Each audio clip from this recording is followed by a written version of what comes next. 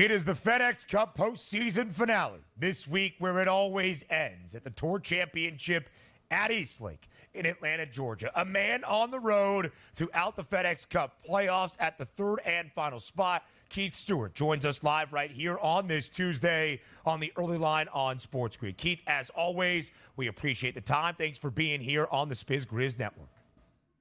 Well, you know what, Donnie, Ben, it's great to be back with you on a Tuesday, but it's not great to be back in the heat and the humidity of sea level. Man, mm. it was hmm. spectacular last week in Denver. I didn't know how good I had it, but we're back here in hot Atlanta and we're ready to go on a brand new, newly renovated East Lake Golf. Club. And we'll see what that means this week for the Tour Championship. Last week out in Castle Rock, Colorado at the BMW Championship, the second leg of three in the FedEx Cup playoffs. It was the United States Ryder Cup captain in 2025. Keegan Bradley still doing it out there with the sticks, winning that second leg. He will enter East Lake in fourth out of the 30 guys that have made it to the Tour Championship. And Keith, it looks a little bit different this week you have the starting strokes, the staggered start component of the Tour Championship. As simply as you can, explain the format, please, to all of our viewers here on the early line. So, all of these guys, the top 30 that have made their way here to East Lake for the Tour Championship, have been accumulating FedEx Cup points since January.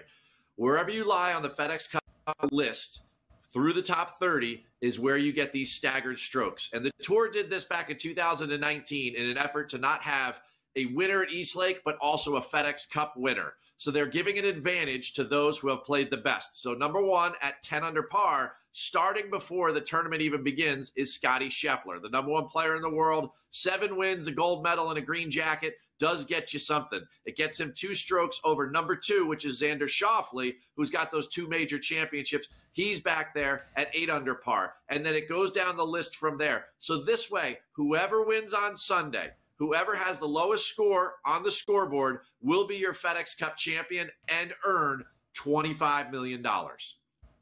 Big time payday up for grabs. Keith, tell us a little bit about the East Lake Golf Club there. It looks like a par 70, about 7,300 yards. How does this set up? And also, who might it benefit this golf course here during this tournament this week?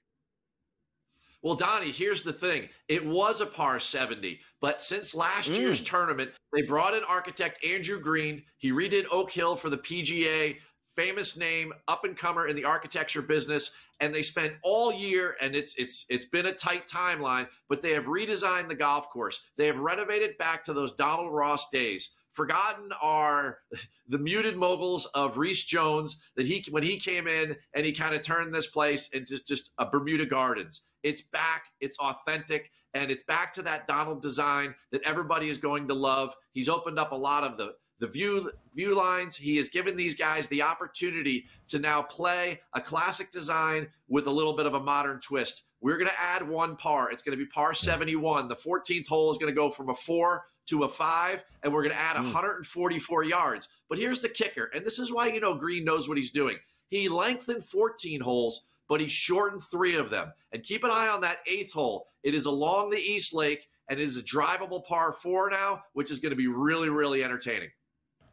So, Keith, the last two years, Scottie Scheffler, world number one, has entered East Lake at 10 under in the top spot in the FedEx Cup standings, but he has failed to win the FedEx Cup. Rory McIlroy back in 2022, Viktor Hovland getting it done in 2023. In fact, Scheffler has struggled a little bit at the Tour Championship. He has called the staggered start, the starting strokes format silly, even as recently as the last few weeks. Scottie Scheffler, for a third straight year, enters Atlanta in that top spot, the favorite to win the FedEx Cup. Will year number three be the charm for Scottie Scheffler? Ben, I'm not so sure. I think Scottie's in his own head, and we saw it last week out in Denver. He didn't play very well, adjusting to the altitude, and it seems like when everything's cookie cutter, Scottie is no doubt the best player in the field. But when there's anything that throws him off just the slightest bit, oh boy, I would watch out for Xander. I mean, I think he is definitely the play to win the FedEx Cup. He's only two strokes behind. And you look at his history here at East Lake, and I know there's been a redesign, but in seven trips previously, he's won the gross low score three times. right? So even through the staggered start, this guy is still playing the best over four rounds and making the most birdies. With him in second place, and you know, last week in the press room, he was all fired up to get down here and get to one of his favorite places on tour. Uh, you know, I, I think Scottie's in a lot of trouble. I think it's going to be three for three that Scottie loses the FedEx mm. Cup on the final week of the year. How about that? You take a look at Scottie Scheffler at the FanDuel Sportsbook, plus 110 price. You see Xander Schauffele at plus 230 price. But you got some big numbers for some really good golfers, Keith. Give me a guy or two maybe down the board that you might be hunting this week at East Lake.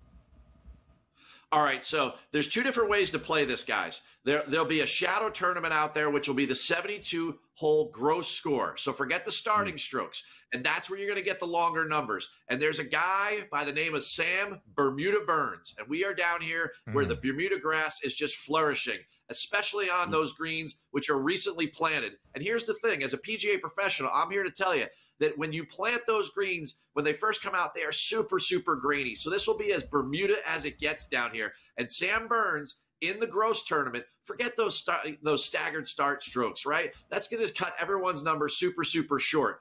Find it on FanDuel. Look for the, the shadow tournament for the 72 hole gross winner. And I like Sam Burns, right? Okay, guys.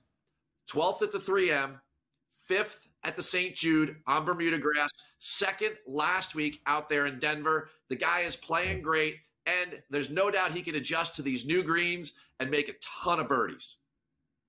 So Xander Schauffele at plus 230. Keith likes the look with the early leans here on the early line to be that FedEx Cup champion when all is said and done. And Sam Burns just to have the best week in Atlanta at Eastlake. That is the structure of the Tour Championship, the third and final spot at the FedEx Cup postseason. Keith, battle that humidity down there in Atlanta. And if you see Brent Key, the head coach of the Georgia Tech Yellow Jackets, tell him congrats from both mm. of us on a great outright victory over Florida State mm. in Dublin. I'm going to spend some time over at Georgia Tech, no doubt, with the golf team. So I'll be sure to look them up and pass along your words from the early line. Keith Stewart, we appreciate the time. Enjoy the week at East Lake. More on the early line up next.